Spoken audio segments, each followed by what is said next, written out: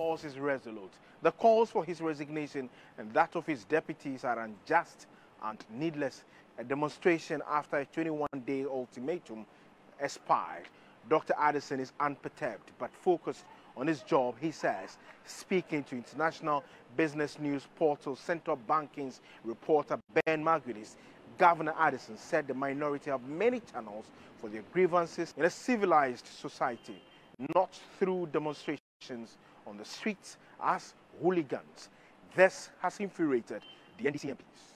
His appointers, that is the president and the, the finance, current finance minister, have on several occasions uh, used peaceful protests, in fact, sometimes violent protests, as means of registering their, their, uh, their views. So, in effect, he's calling President Akufo-Addo and, uh, how do you call it, uh, Finance Minister hooligans.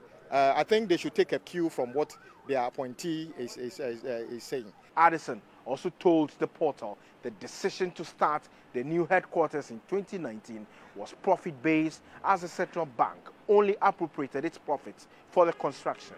Addison also rejected the claims by the minority that he printed money to finance the lavish lifestyle of the ruling government. According to him, the BOG provided monetary financing during the 2020 and 2022 to meet specific crises which it says is legal under the central bank law.